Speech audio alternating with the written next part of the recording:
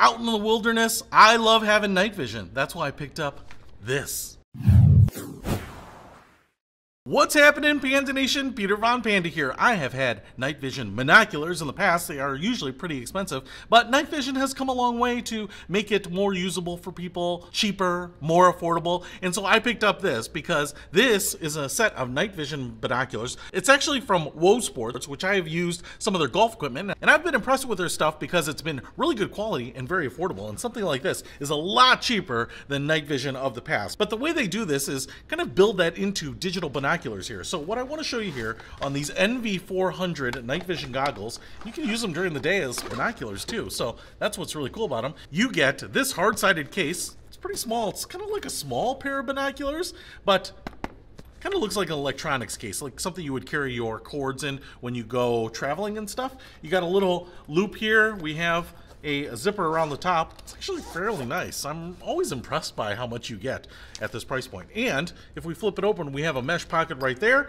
We have, looks like a loop to go around your neck so you don't have to worry about dropping them or if you just kind of put them down so that you can manipulate stuff. We also have a USB to USB-C slash Thunderbolt cable right there. We also have a variety of cleaning wipes. We also have, what I'm really excited about here is actually a 32 gig micro SD card. So that's what you're gonna use to store the images on. You can actually take photos and video with this. So that's how I'm gonna be able to show you what I see in there. And then we actually have what looks like a little jump drive here, but this is an SD card slot jumper. So you can take it out of the night vision binoculars, put it in here, plug it into your computer. Actually, they give you everything you need right out of the box. I have some of these things because I've used them with GoPros, but the nice thing about this is everything you need is right here in this box. So again, pretty nice value. You don't have to worry about having an SD card that is the correct format or size for it. Now here is the set of binoculars itself, and what I love is that they have this stormtrooper-like color scheme. It actually looks like a giant golf binocular,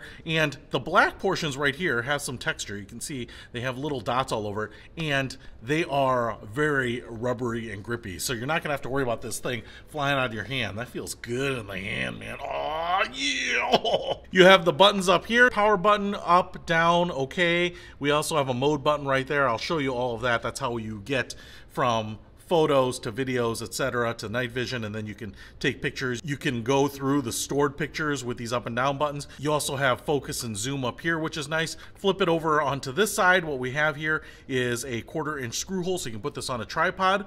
On this side, it looks like this is how we can control the IR focus. So we can kind of make it a little broader or more of a projector beam. On the fronts here, we have covered in plastic, the two lenses. So this will be your IR blaster and this will be the camera. So in bright light, it should just be basically like looking through a video camera lens, but at night we should have a night vision image right there. We also have the two little tiny D-rings on this side and this side for that neck lanyard. We have a little pull away cover right there. So that's where we will charge it, USB-C, as well as the SD card slot right in there. And on this end, we have kind of a soft rubber or silicone that will go around your eyes here to block out any light. You can see we have a screen Again, covered in plastic. Oh yeah, so satisfying.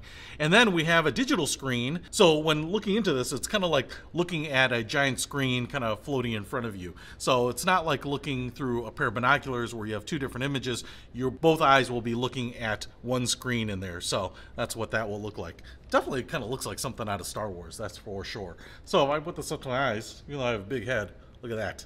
So cool. All right, so the next thing I'm going to do is I'm to go ahead and get the SD card slot in here. I'm going to charge it up, and then we're going to head out into these woods here and see what we see today and tonight. And the first thing you're going to do here is hold down this power button to fire them up, and you can kind of see the screen in there.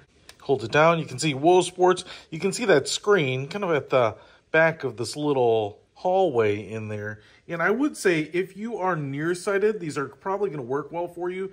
But if you are farsighted and you don't have your reading glasses on, uh, it might be a little hard to see because it doesn't really like float way out in the distance. I mean, it's like a screen that is, I don't know, six inches from your face.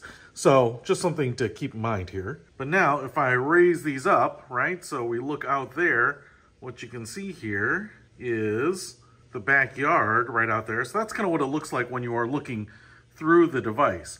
But what I'm going to show you here, and I'll record it on board here, is zooming in and focusing with these rings over here so that you can see what it's like looking through these in more detail. All right, so the first test I thought we would do is take a look through my window here out at the backyard, just kind of look around and see what it looks like inside of the binoculars during the midday here. Pretty bright, pretty bright out for sure. All right, so all you do is hit that middle button and it will start recording or it will activate the feature that you are set on. So in this case, in video mode, you just hit that middle button and it will start recording, hit it again, and it'll stop recording. If you are on photo mode, it will take a photo at that time. Now, another thing that I didn't know that I want to let you know is that there is a microphone on board the set of binoculars because when you start recording video, it will record the audio with it. Now, the audio isn't great. I'm dubbing my voice over the video that I shot here, but I actually wasn't sure. I didn't want to speak through the whole video and then find out that it wasn't capturing any audio. So right now you can see that we can see the backyard. And what I actually like about this is that the zoom is optical. You can actually adjust that with your fingers. And what you don't get is like that zooming in effect and really large pixels. All right. So we know these things work as binoculars, but what I am sure you are curious about is how well do these things work at night? So let's try them in the dark. All right, I'm standing in my hallway here. I've turned off all the local lights. There is a light down this hall that is still on, so it's not pitch black and there's actually a Christmas tree over here that has lights on it. But I just want to show you because I want to use the WOSPORTS night vision to kind of walk through the house. You might be saying, hey, can I use this inside? Can I use it in more confined space? And so I just want to show you what that's going to be like. So not totally dark. As you can see, this tree is producing some light here, but this is what this looks like. You know, here's my kitchen. Here's uh, the table. There's a little sitting room over there. You know, not perfectly dark, but one thing I will look at is in this closet right here, my pantry, because this is totally dark in there. But I will just kind of give you a tour of what this looks like inside if you are looking around, say, a house, and then the lights are on, obviously, over there. But back here and let's start. All right, so same drill, but now I have it switched to the night vision mode. You can absolutely see that circle of infrared light that is projecting. And I would say inside that light emitter is quite bright. It's quite powerful. Now, one of the things that I kind of notice here is that when everything is at the same depth or distance from you inside, uh, most of the time you don't have to play with the focus that much because it's just not something that you have to adjust as much as you might outside. Um, the other thing that I would say is that inside, you can really see the difference when you change the infrared emitter kind of to that pencil beam uh, versus the flood beam. And I would say inside, because it's so powerful, that flood is probably the way you want to go. Actually, inside the pantry here, where I keep my booze, it's super dark. I mean, it is pitch black. You can't see anything in here without some sort of artificial light. And as you can see, you can see it fine there with the uh, infrared emitter on there. So yeah, I can scan the house pretty well with this. If you're sweeping your house looking for an animal that's wandered inside, this is a good way to do it without kind of shining a flashlight everywhere. All right, guys, I'm out here in the back. It is dark. There might be a little moon, but it's so overcast that you can't really tell. Um, I see a little bit of light coming from some of the other areas of the city here, but I've got my headlamp on. You might be able to see that there because I would just stumble all over everything if I were just walking out here because it is so dark. Now, that being said, I think this is a perfect test for this WOSPORTS night vision because right now I'm going to go ahead and power this little guy up and we are going to see whatever we see out here and hopefully there are maybe some critters, but no killer clowns because that would make two killer clowns out here. All right, let's get this thing powered up. Check it out. So I'll get this thing in night vision mode and the infrared illuminator on. I am standing just on the edge of my property here by the tree line and just kind of want to show you what it looks like when we are looking into things like bushes and trees and things that are close to me. And one of the things that I notice here is that Again, I mentioned the infrared illuminator is bright, but it is the brightest I've ever had in any night vision product. And I've had some of the standard, you know, old Russian military surplus ones, the night owl one. This one is just by far the brightest. It's like a tactical flashlight level of brightness. In most cases, the other ones that I've used are kind of buried behind this little tiny lens. They're not super bright. You know, anything beyond 15, 20 feet, they just get really dim and you're kind of using just the ambient light illumination. But in this case, you can see here, as I zoom out to uh, the field and beyond, you know, this is still lighting up things 30 yards away, 40 yards away from me. Even the stuff 20 yards from me is actually very well lit. Things actually super close, especially if you have it on the pencil beam instead of the flood, are over uh, saturated. You can't actually see anything. It's almost too bright.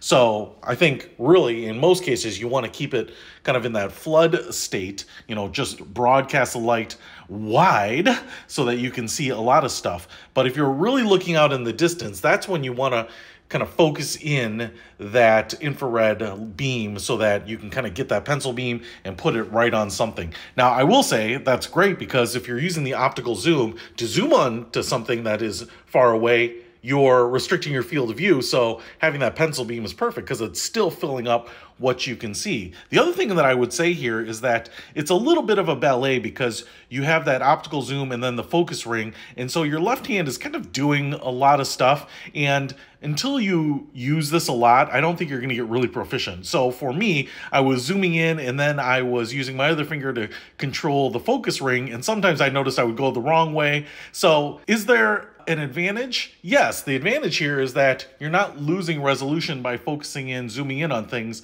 But the disadvantage over some of these that just have an autofocus is that you know, sometimes, especially if you're shooting video like this, you may actually take the picture and move it further out of focus than in focus right away. So there's probably gonna be a little delay. Now, if you use this a lot, you can probably become very, very quick at it. So one of the things I will say here is this is actually, because it's super dark, super useful. Like if I were actually out here looking for coyotes, I mean, there are many times I hear the coyotes out here, I see the foxes, the deer run through here. I have seen many a raccoon and other little critters. It's not so much right now high time for critters to be out because it's so cold. But what you can see here is, you know, is there something out here that I have to be aware of? You know, if I were going camping or being out in the wilderness for a longer period of time, I like this because it does two things. One, it gives me a much broader field of view. So I can actually scan the horizon, see a fairly wide swath of land and see what's out there as opposed to a flashlight, especially when it's really dark. You've just got that single beam. And so you're kind of scanning back and forth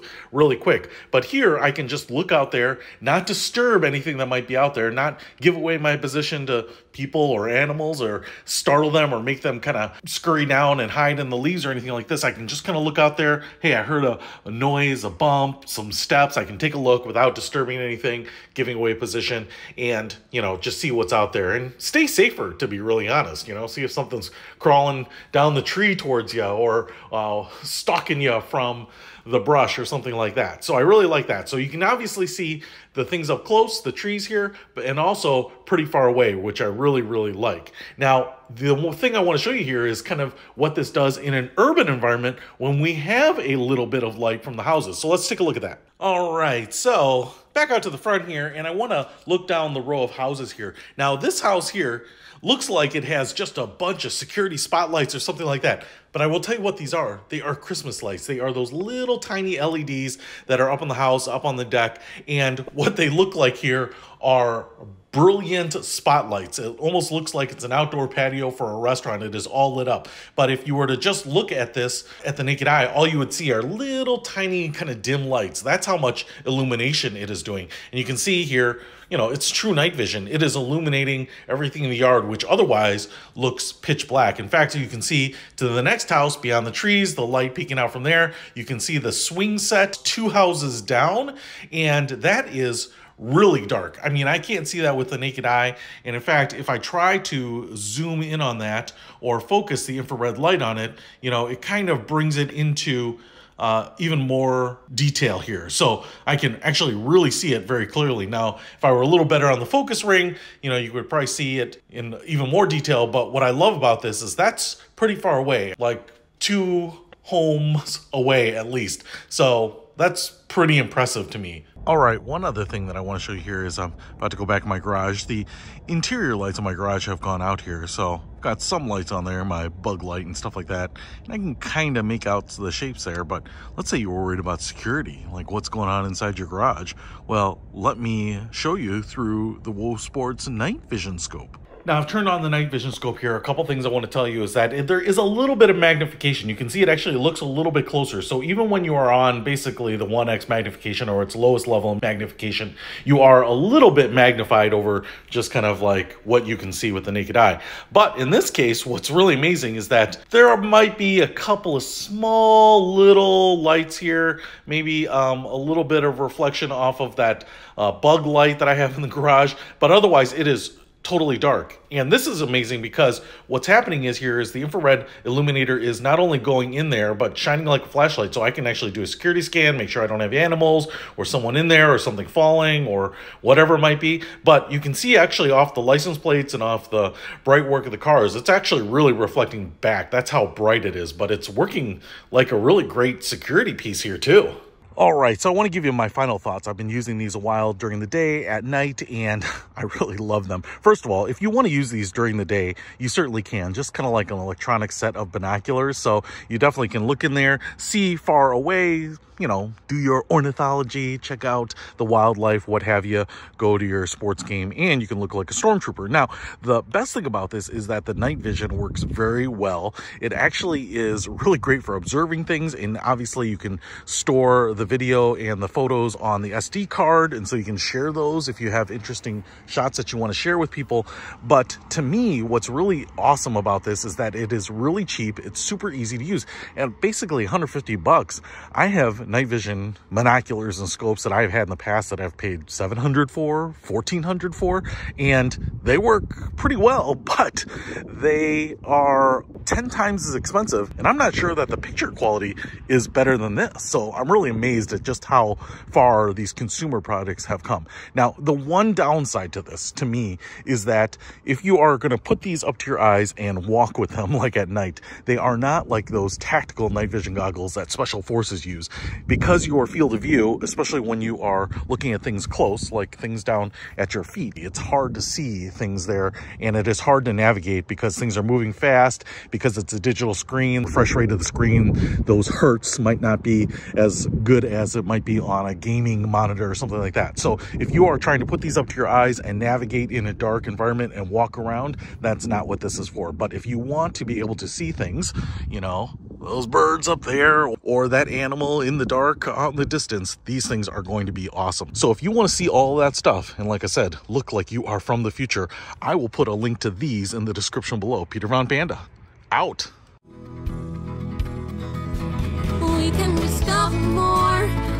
explore so much deeper. We can live better than ever. Thanks to Peter. Peter von Panda. Um,